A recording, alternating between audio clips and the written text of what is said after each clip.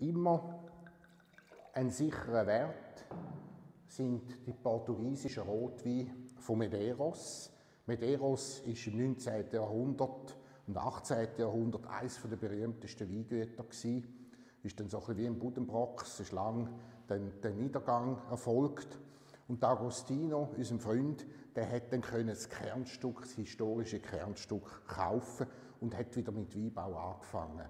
Und nicht überraschenderweise zählen die wieder zu den schönsten von Portugal, wo man haben kann. Die Lage ist sehr gut. Es sind karge Böden. Es hat aber genug Wasser und es ist nicht zu heiß. Die Hitze und Wassermangel ist ein großes Problem im Alentejo und das haben wir eigentlich da nicht bei Medeiros. Und äh, beim aktuellen äh, Jahrgang vom äh, 2018er ist es so, dass die übliche brütende Hitze im Sommer glücklicherweise ausgeblieben ist.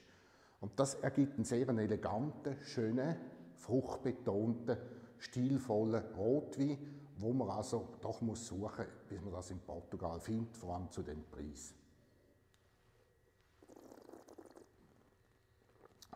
Er ist bereits sehr zugänglich. Er ist ein bisschen weniger massiv wie der Vorgängerjahrgang, weil es ja auch kühler ist. Aber gerade die Eleganz, die steht ihm sehr gut. Wunderbarer Wein.